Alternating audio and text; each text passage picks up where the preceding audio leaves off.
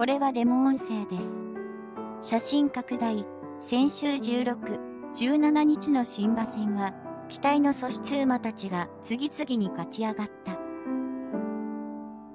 株式会社 AI が提供するデモ音声です。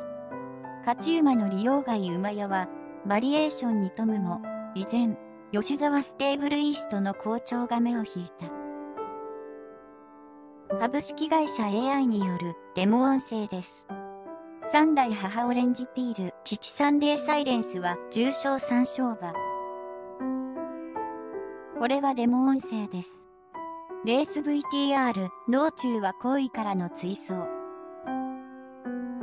株式会社 AI が提供するデモ音声です。道中でカフジオクタゴンがまくってきたが、慌てることなく、直線で追い比べに持ち込むと、最後までしっかりとした足色。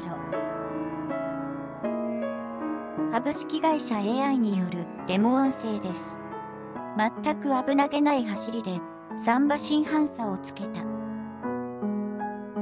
株式会社 AI によるデモ音声です。勝ち時計は1分55秒。